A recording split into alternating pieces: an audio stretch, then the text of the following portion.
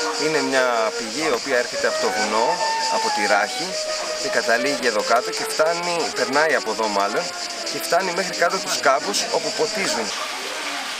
Ε, ο ποταμός έχει δύο πηγές.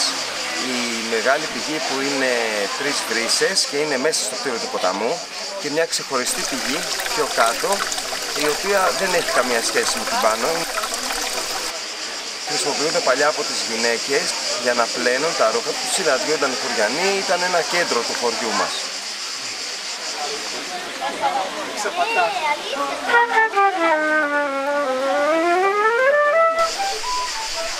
Στο κόσμο συντηρήθηκε το 1994 και στην ουσία συντηρεί το χωριό. Με τα έσοδα που έχουμε φτιάξαμε το μεγάλο έργο του ποταμού. Μας πήρε τρία χρόνια, το 2017, 2018, 2019 και τελείωσε τώρα. Και σήμερα και αύριο έχουμε την τιμή να φιλοξενούμε τον Γιώργο Τσαπαθέρο με τα έργα του που ζωγράφησε από τον ποταμό και θα μπουν στο ημερολόγιό μας που έχουμε ετοιμάσει και αν θέλετε μπορείτε να το προμηθευτείτε από το Σύλλογο να δείτε τα έργα του Γιώργου και όλη τη δουλειά αυτή που έγινε.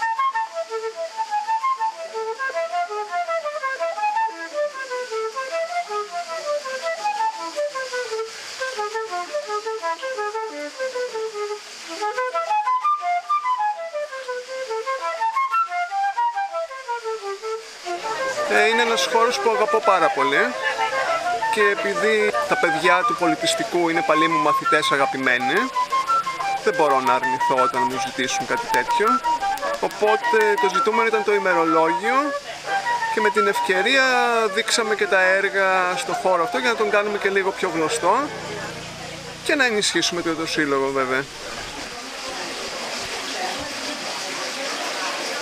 Η πηγή των Αιδονίων είναι πολύ εικαστική. Πέρα το ότι είναι ένα μνημείο η ίδια, με έχει εμπνεύσει πολλές φορές και στο να ζωγραφίσω κάτι με το θέμα του νερού από εδώ. Οπότε ήταν αυτονόητο το ναι που είπα στο σύλλογο.